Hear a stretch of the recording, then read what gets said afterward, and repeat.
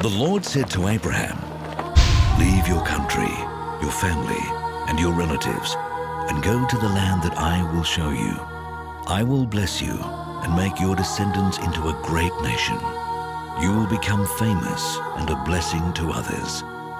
I will bless anyone who blesses you, but I will put a curse on anyone who puts a curse on you. Everyone on earth will be blessed because of you. Abraham was 75 years old when the Lord told him to leave the city of Haran.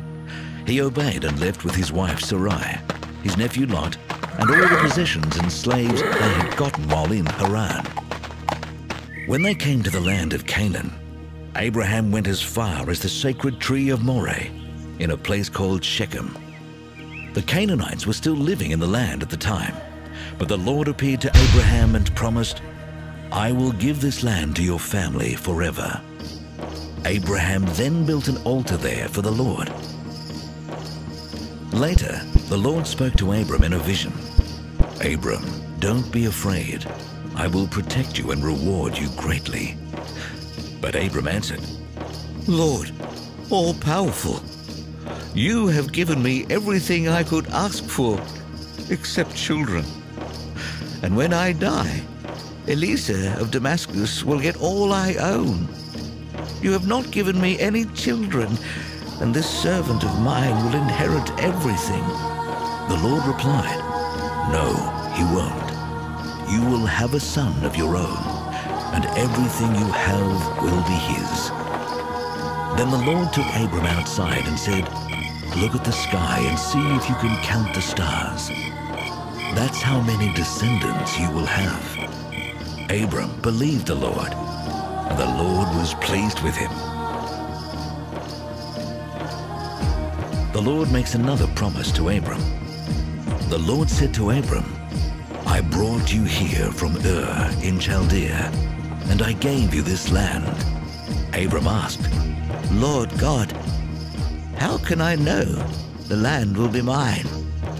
Then the Lord told him, Bring me a three-year-old cow, a three-year-old female goat, a three-year-old ram, a dove, and a young pigeon. Abram obeyed the Lord. Then he cut the animals in half and laid the two halves of each animal opposite each other on the ground. But he did not cut the doves and pigeons in half. And when birds came down to eat the animals, Abram chased them away. As the sun was setting, Abram fell into a deep sleep, everything became dark and frightening. Then the Lord said, Abram, you will live to an old age and die in peace. But I solemnly promise that your descendants will live as foreigners in a land that doesn't belong to them. They will be forced into slavery and abused for 400 years but I will terribly punish the nation that enslaves them, and they will leave with many possessions. Four generations later, your descendants will return here and take this land, because only then will the people who live here be so sinful that they deserve to be punished. Sometime after sunset, when it was very dark, a smoking cooking pot and a flaming fire went between the two halves of each animal. At that time, the Lord made an agreement with Abram and told him, I will give your descendants the land east of the Shihor River, on the border of Egypt, as far as the Euphrates River. They will possess the land of the Kenites, the Kenizzites, the Kadmonites, the Hittites, the Perizzites, the Rephaites, the Amorites, the Canaanites, the Girgashites, and the Jebusites.